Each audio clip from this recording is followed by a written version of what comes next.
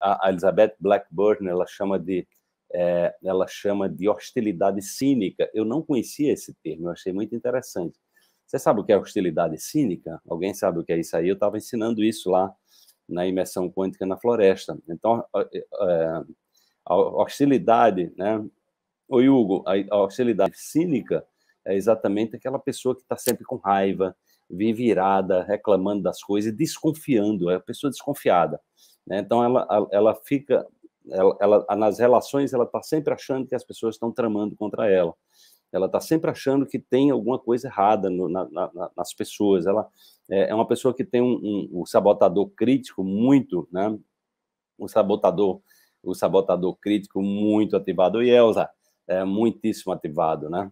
Então, o que acontece é que esses comportamentos, gente, esses comportamentos, veja, negatividade, é pensamento, você já ficou ruminando, ruminando aquela negatividade, acorda e já fica com aquele, aquela ruminação, ah, porque aquela pessoa fez aquilo, ah, porque poderia ter sido diferente, ah, porque não sei o quê, ah, porque não sei o quê, e você não para, você não para. Olha, gente, hoje, como eu, eu, é, eu vivo me é, é, aprendendo, né? Eu ensino para vocês uma forma de eu aprender cada vez mais, né? Então eu estou cada vez mais também me vigiando mais, né? Aquela passagem de Jesus, orar e vigiar, eu tenho usado cada vez mais na minha vida, né?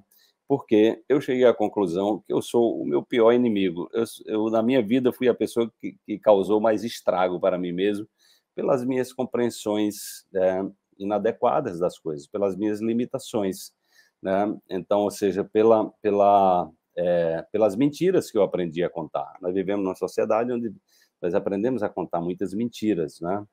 É, veja aí os profissionais de saúde que muitos não podem ser chamados profissionais de saúde, né? eles aprenderam a contar mentiras. Eles dizem para as pessoas, muitos profissionais de saúde, quando a pessoa chega lá com um problema de saúde, ele diz: não, mas você, a pessoa pergunta, e quanto tempo você vai?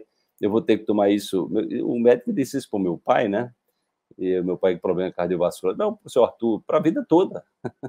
Isso é mentira, né?